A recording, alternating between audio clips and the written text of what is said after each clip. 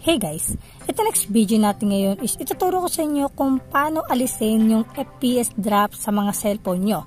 Na kahit na anong games man yung nilalaro mo, mapa Mobile Legends man, Wild Rift, COD, Genshin Impact. Basta guys, kahit anong games yung nilalaro mo sa cellphone mo is magiging effective siya, mawawala talaga ang FPS drop. At hindi lang yan guys, kahit nagpa-Facebook ka lang, nag-YouTube, kung nag-FPS drop ngayon yung cellphone mo dahil 2GB or 3GB lang yung meron sa cellphone mo, is mawawala talaga siya. Magiging smooth talaga yung cellphone mo. Basta susundan mo lang yung gagawin ko guys dahil madali lang naman tong tutorial natin. So na guys, isimulan natin. Pero kung bago ka pa na sa channel natin at kung gusto mo na magandang videos, is i-hit mo na subscribe button pat notification bell para naman updated ka sa mga susunod pa nating videos. So na guys, isimulan natin. Itong tutorial na to guys is applicable mapa 3GB or 2GB lang yung cellphone mo kahit na mababa lang yung RAM ng cellphone mo at mababa lang yung ROM is effective talaga siya. At yung trick nito guys is may katagalan na baka yung iba sa inyo is alam na to. Pero para sa mga hindi pa nakakaalam guys, subukan nyo to guys. Working na working talaga siya. So ito na nga guys, punta mo na kasi settings ng cellphone nyo. Tapos, punta kayo sa about phone. Tapos dito sa about phone, gagawin natin yung way para i-enable yung developer option. Sa pag-enable ng developer option guys is maiba-iba tayong way kasi magkakaiba tayo ng brand ng cellphone. So kung hindi nyo alam kung paano enable yung developer option sa cellphone mo, is-search mo muna sa Google, halimbawa, Vivo yung phone mo. So, search mo how to enable developer option in Vivo phone. So, ganun guys. Pero kung, kung magkapareho tayo ng cellphone, Poco X3, so same lang tayo ng gagawin para ma-enable yung developer option. So, kung same tayo nga, ganito lang mag-enable ng developer option sa Poco X3. Hanapin mo tong about phone nga, tapos dito sa MUI version, so itap lang natin yan ng maraming beses hanggang sa lumabas yung wait lang yan, you are now a developer. Kapag lumabas yung ganyang notifications, ibig sabihin, naka-enable na yung developer option. So, babak na tayo para pumunta tayo sa developer option na setting. So, puntahan na natin yung developer option. Nandito siya sa additional settings. Tapos, dito sa baba yung developer option. So, na guys, ulitin ko, sa mga hindi alam kung paano enable yung developer option, is search nyo yung brand ng cellphone nyo at kung paano siya enable yung developer option.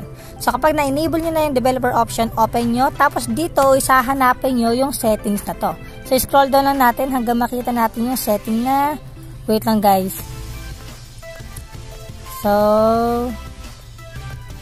wait lang guys ha, nakalimutan kasi yung tawag. So ito yon yung window animation scale, transition animation scale, at yung animator duration scale. So, ito kapag nakita mo na yung tatlong to, ang gagawin mo lang dyan is, unahin natin tong window animation scale, itap mo yan, tapos ilagay mo yung animation off. So, i-off natin yung animation, tapos next naman ditong transition animation scale, tapos animation off ulit natin, tapos itong animation duration scale. So, i-off din natin yan. So, bakit natin ita-turn off? Kasi guys, kapag mababa kasi yung spec ng cellphone mo, ito mga cellphone kasi natin is may mga animation. Halimbawa na nagsuswipe lang tayo. So, ito, ito example. Dahil naka-turn off na to, kapag ihinom ko, ay guys, pansin nyo ba? Parang wala nangyari. Parang nag-blink lang siya. So, open ko yung settings. Ay guys, so, nagbi-blink lang siya kasi tinanggal niya yung transition. Yung transition kasi guys, nakakadagdag bagal yan sa cellphone natin. Lalo na kung mababa yung RAM ng cellphone natin, is nakakadagdag siya ng bagal. Kaya natin tinanggal yung transition ng cellphone natin is para bumilis yung dating. So yun nga guys, tinan mo, pag nag-open tayo ng mga ng settings, so ganito lang, nagbi-blink lang siya. So mag-open akong Zero Archiver, nagbi-blink lang siya. So, para naging mabilis yung process ng cellphone natin. So, ganun. Ibig sabihin, sa pamamagitan nito guys is, mababawasan yung FPS drop ng cellphone nyo. Bibilis yung process ng cellphone nyo. At ito pa guys, meron pang sunod. So, balik tayo sa developer option. So, next, sana na-explain ko ng maayos yung transition skill na yun guys. So, balik tayo sa developer option. Tapos, wait lang guys. Balik tayo, balikan natin yung kanina. So, ito, ito yung mga tinarap natin. Ang next naman is ito yung background process limit. So, ito yung background process limit. Yung sa iba is siniset nila yan sa no background process. So, yan.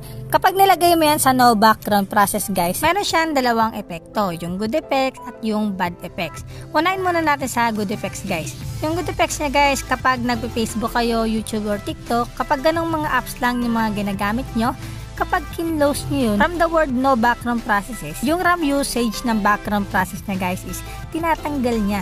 Kasi nga nakaset siya sa no background processes. So yun yung ibig sabihin nun. Yung bad effects naman nito guys, kapag naglalaro kayo ng mobile games.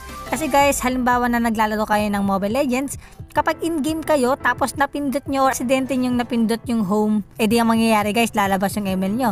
Kapag balik nyo sa Mobile Legends guys, is nag-restart na siya. So magtataka kayo bakit nag-restart. Dahil yun guys, nakaset siya sa no background processes. Kaya sa part na to guys, is kayo na bahala mamili kung saan nyo siya ilalagay. Kung isa-set nyo lang sa standard limit, or sa no background processes. Yung standard limit guys is yun yung normal. So yan na guys, once na ma-setup nyo na yung mga dapat i-setup dito sa developer option is hayaan nyo lang naka-turn on yung developer option. Kasi kapag turn off nyo yung developer option is babalik siya sa original niyang setup.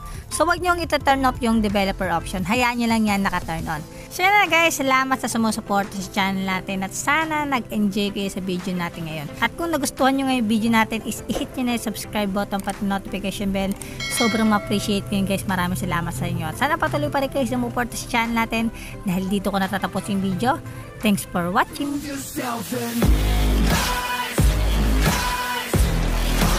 Make up remember